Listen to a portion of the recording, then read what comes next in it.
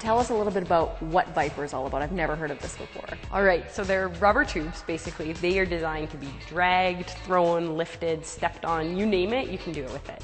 So really what um, they're created for is to blend strength training with functional movement. And they're great for sports conditioning. So lots of hockey players and athletes and football players are using them now to supplement sport training. And this idea was born in our city, right? Talk a little bit about that. So Michol Dalcourt, the creative ViPR, creator of ViPR, uh, went to the University of Alberta. So he is a Canadian. I know he lives down in California now. Escaped our winters. But born here, so we'll Born take here. credit. And he created them basically looking for something functional and different to improve his athletes that he was training.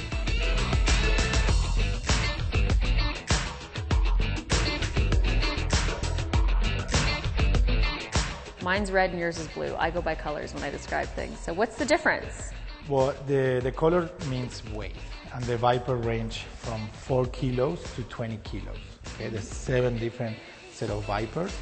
Uh, so yours right now is uh, 6 kilo. Okay, I didn't want to go too light on you, but not too heavy. Okay. Um, for me, this is like 44 kilos.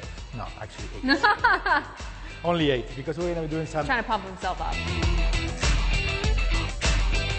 So just keep it close to you, and we just do the same movement pattern. So nothing changed. Now we have a little resistance with the ViPR. What we're gonna do, we're gonna alternate, and we're gonna do a step forward, and back to the position, and you do the squat, and you alternate.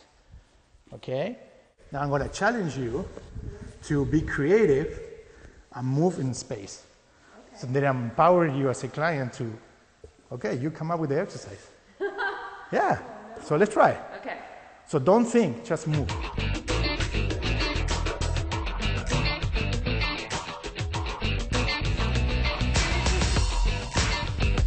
So what we're gonna be doing, we're just gonna be tapping the ViPR, alternating like this, okay? So this, uh, this is gonna actually target a little more your up, upper body. So if you're in an argument with your significant other, this is a good exercise. Make eh? sure you have a helmet. okay, so to make it a little more challenge, we're gonna go in one leg. Okay.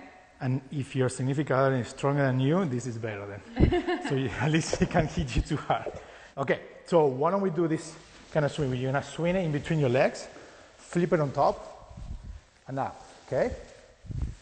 Good. All right. I hear things cracking. You're keep going that way. Awesome. So we're gonna make it a little fun, and by fun we make noise. So you're gonna slap it on the floor. When you come back, turn. Okay? So that energy that you are using to bang on the floor is also again give you a little extra work on your cardio. Good. Now grab it.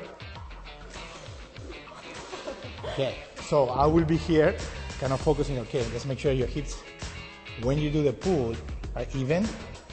There we go. Can you feeling your core? I think that's probably good. No, no, no, no. I want to do this one. What I want you to do is just lift and touch my hand with the ViPR. That's a crunch. Okay, now we do a crunch. So go up.